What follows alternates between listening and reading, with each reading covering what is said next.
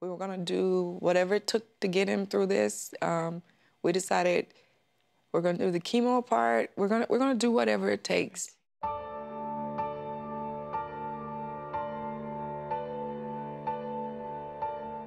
It was days that I, I could barely get out of bed. I mean, I would spend weeks in bed in a fetal position. And, and for anybody who knows Wayman Tisdale, that is not me. I'm the life of the party.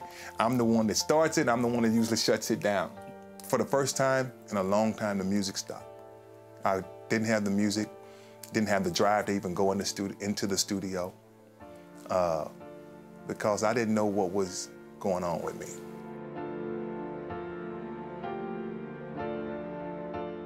Ten weeks that I was just literally just sicker than a dog. And at the end of that period, the, for the doctors to tell me it's not working. They decided, let's do another round of chemo. Yeah. That was tough. I'm like, well, wait a minute.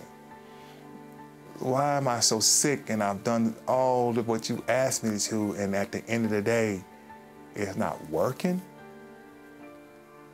That's a, that's a lonely feeling. And then for them to tell you, you have to amputate your leg. Now, how you get, how do you gear up for that?